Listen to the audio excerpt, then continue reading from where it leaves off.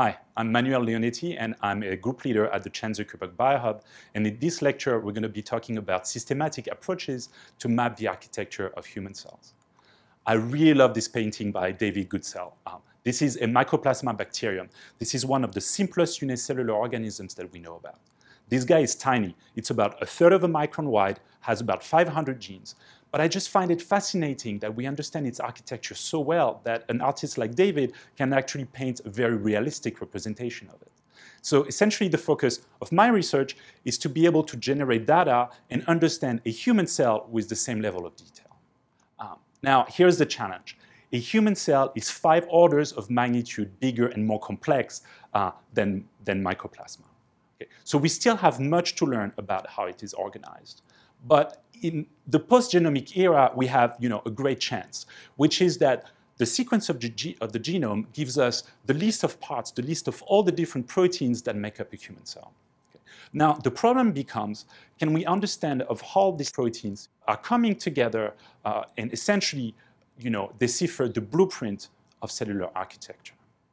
So today, we're going to be talking about key methods to tackle this very problem. Uh, we're going to take a very protein-centric view of the cell, and we're going to be addressing two main questions. Uh, where are the proteins localized in the cell, um, and how are they all wired together? Okay. And really, my goal here is to give you an overview of the different approaches that have been deployed or could be deployed at genome-wide scale to get the complete map of a human cell.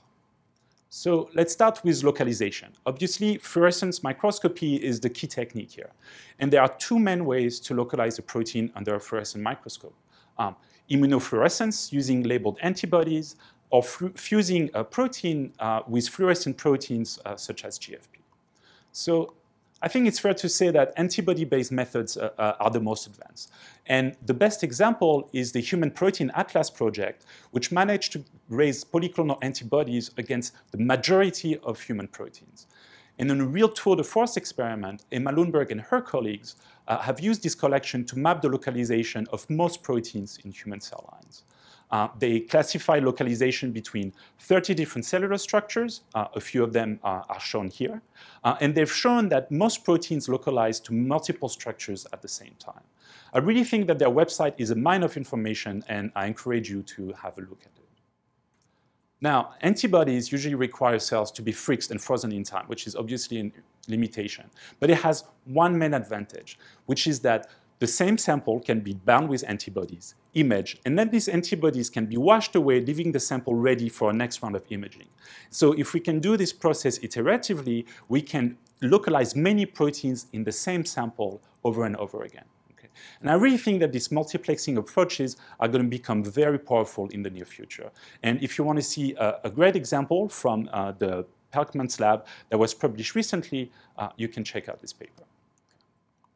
Now, again, antibodies cannot capture dynamic information. And this is where protein tags become really interesting because they allow us to localize proteins in live cells. Uh, and as you can see in this video, it's been taken by Rachel, who is a student visiting my lab. Not only are proteins dynamic within cells, but the cells themselves are, are dynamic. So I think it's really important uh, to capture this time information. And the power of fluorescent protein tagging has really been exemplified by the work that's been done in the yeast Saccharomyces cerevisiae, where many teams, and in particular Erin O'Shea and Jonathan Weissman, when they were at UCSF, have been able to create a genome-wide collection of, of GFP-tagged yeast lines. So uh, this image is a composite illustration of many different yeast lines. Uh, and by now, the vast majority of the 6,000 or so genes in the budding yeast cerevisiae have been tagged with GFP. And beyond informing about localization, the yeast library has really provided us a ton of information uh, about proteins. It can be used in particular to accurately quantify protein levels um, and understand how the proteome changes across conditions. Okay. Every one of these lines is also essentially a potential reporter for phenotypic screening and so on. So one of the main reasons why, this work has been done in yeast is because we've had methods for a long time that allow us to rewrite the genome of Cerevisiae fairly simply and introduce these GFP fusions.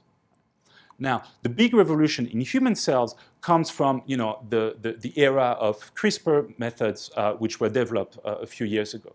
Essentially, by cutting the genome, uh, at a specific locus, CRISPR allows us to catalyze homologous recombination and insert fluorescent proteins in frame directly into a protein coding gene.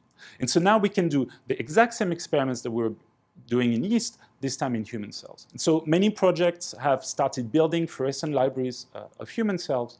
Uh, and I think a pioneer in this field is the Allen Institute of Cell Science. So they're using GFP tagging in stem cells to unveil cellular architecture. They've tagged dozens of targets, and they've used these cell lines together with machine learning uh, to build an integrated model of cellular architecture. And uh, here again, I'm going to encourage you to check out their website for up-to-date information. In a separate project, uh, Jan Ellenberg and his team at EMBL are using the fact that fluorescence gives us very quantitative information about protein levels and using this, uh, you know, tag cell lines to understand how the cell gets remodeled during cell division and doing that, again, very precisely and quantitatively so uh, that we're able to plug in you know, physical models uh, in this kind of experiments. And uh, in my own lab at the Biohub, we're using a very similar approach in a project that we call OpenCell, uh, we're actually using a split GFP system to facilitate high throughput CRISPR uh, tagging. And you can read this paper if you want to know more about this technique. Essentially, that allows us to build uh, libraries of hundreds and, and, soon thousands of human cell lines uh, tagged endogenously uh, with fluorescent proteins. So stay tuned. We're approaching the final stages uh, of our first data release, uh, and I'll be very excited to tell you uh, in the future what we learned from these experiments. So in a nutshell, it's a very exciting time for cell engineering. And I think it's just you know, a question of, of months or years uh, before all of us together will be able to create genome-wide collections of fluorescent cell lines in human cells, just like we had uh, in yeast. So before uh, I finish this part, let me just mention that imaging is not the only method that allows us to profile localization. Uh, spatial proteomics, which is a biochemical method, uh, for example, can localize cells by first isolating different organelles uh, in a cell lysate by ultracentrifugation and identifying proteins in each fraction um, in a very quantitative manner using mass spectrometry. And that allows us to create organelle level maps of protein localization. And here again is a great paper that you can uh, uh, check out to, to learn more about this. So overall, we have methods today, mostly using imaging, antibodies, and CRISPR cell lines to be able to localize any protein in the human cell. Now, the second step is going to be understanding of how these different building blocks are wired together to get the blueprint uh, of a cell. The first stage of wiring happens at the level of protein complexes. For example, ATP synthase, which is shown here, uh, which contains more than 20 different polypeptides from eight different subunits. Right? So a lot of these proteins are acting not on their own, but as part of like this kind of big assemblies of protein complexes. Now, to uh, profile protein-protein uh, uh, interactions, uh, the most powerful method by far is immunoprecipitation mass spectrometry or IP mass spec. So in this method, we're going to take cells, we're going to break them open, and very quickly go fishing for a protein of interest, usually using uh, antibodies, and, and using mass spectrometry to identify which other proteins are coming along for the ride. There are a few large-scale data sets in human cells that are available uh, using this method. And a reference in this field is the BioPlex dataset by Steve Gygi, Wade Harper, and their colleagues at Harvard, uh, which have used overexpression of epitope tag proteins to profile the interactome of tens of thousands of targets. So this is an image from their first paper, but they've kept building uh, a great resource uh, over the years, um, and uh, all of that data is available online. Now, what I think is really interesting is that it turns out that fluorescent proteins such as GFP are also formidable handle for immunoprecipitation. Um, that's because we have very good antibodies or nanobodies uh, against GFP. So essentially, we can use the same cells to localize proteins and uh, define their interaction. And this is an approach that, for example, has been used by Matthias Mann, Tony Hyman, Marco Hein, uh, and their colleagues a few years ago to define uh, the interactome of, of over a thousand different proteins with very high precision. And today, uh, my lab is working with Matthias to use the same techniques and profile interactome uh, in our collection of CRISPR GFP cell lines. And finally, beyond profiling just direct interaction, there are methods that are available today to measure proximity of proteins uh, within a cell. And in these methods, uh, many of them were pioneered by Alice Ting uh, in her lab. Instead of tagging proteins with fluorescent proteins, um, we can fuse them with chemically active reporters. And under these conditions, um, if, we treat this, if we treat cells with uh, the right molecules, um, these, uh, these, chemical, these chemical reporters become active, which leads to chemical marks being deposited on proteins in the proximity of our target. And because the radius of labeling here is fairly small, just tens of nanometers, uh, that allows us actually to map proximity with fairly high precision. And we can use mass spec to identify these, uh, these chemical marks.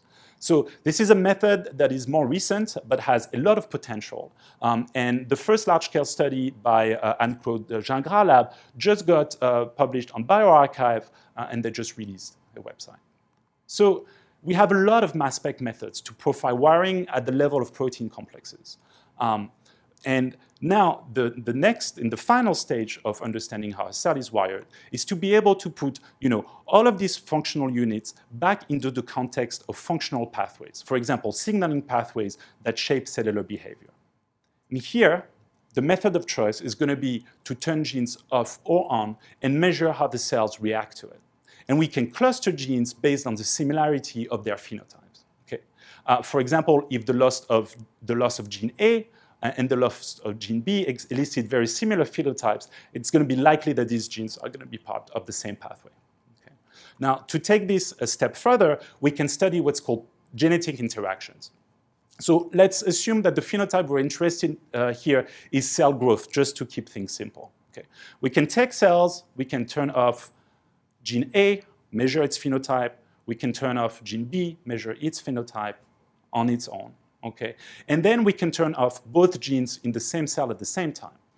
If the two genes are not interacting, we're going to expect that you know, the growth rate of this cell is essentially going to be the product of the two individual phenotypes. Now, things start getting interesting when the measurement deviate from this prediction. For example, um, the double mutant can be actually doing better than what we expect. Okay. This is often the case uh, when A and B are actually part of the same linear pathway. And the idea here is, you know, it's the pathway that the cell is caring about. So, you know, if we turn off A, then there is not much of uh, an additional phenotype to turn off B at the same time because the pathway is already dead. Okay. So uh, conversely, the double mutant can be actually doing far worse than what we expect. Okay, and that usually tells us that A um, and B are acting into two parallel pathways that are important for the same response, so that the cell can cope with the loss of uh, one of these branches, uh, but if both of them are turned off at the same time, the cell uh, uh, uh really cannot, uh, cannot, cannot cope anymore. Okay, so these are very simplified examples, but it gives you kind of the idea of how genetic interactions are very powerful at very precisely mapping functional pathways. And again, one of the best examples uh, uh, illustrating the power of, of these approaches comes from the yeast uh, Saccharomyces cerevisiae, especially the seminal work of Charlie Boone, uh, Brenda Andrews, and their colleagues in Toronto, which have been able to map using extremely large collection of double mutants uh, every or close to every pairwise combination uh, uh, of genetic interaction in the yeast. And they've used this information to show how powerful genetic interactions can be at grouping proteins that belong to the same functional units. And you can check uh, one of their recent papers, uh, and especially one of their recent reviews, uh, to learn more about how genetic interactions are a powerful way uh, to understand pathways. So um, here again, the reason why yeast has been so powerful is that we know how to turn genes off or on uh, in cerevisiae, we've been able to do this uh, for a long time. In human cell, the CRISPR revolution has also transformed our ability to do that recently. Okay.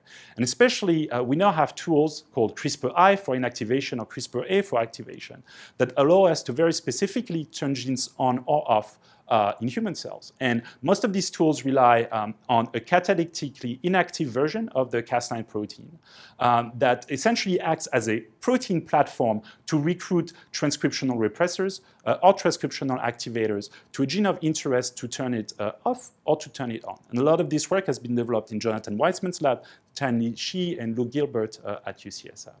Okay. So these methods are extremely powerful and very easy to scale. And so the first studies are coming out that allow us to do very large uh, uh, data set of functional genomics in human cells.